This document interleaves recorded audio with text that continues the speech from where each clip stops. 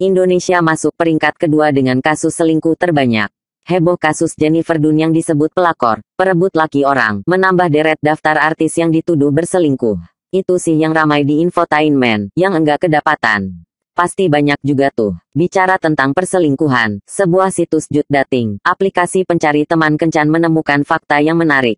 Dilansir suara.com, tanggal 2 bulan 12 tahun 2017, dari hasil survei Jut Dating ditemukan bahwa 40% pria dan perempuan di Indonesia pernah selingkuh.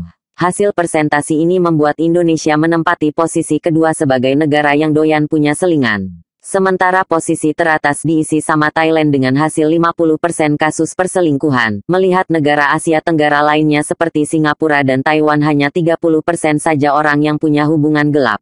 Sementara Malaysia mendapat predikat negara yang paling setia karena hanya 20% pasangan yang mau berselingkuh. Hasil survei ini juga menunjukkan jika perempuan Indonesia lebih doyan berselingkuh dibandingkan para pria.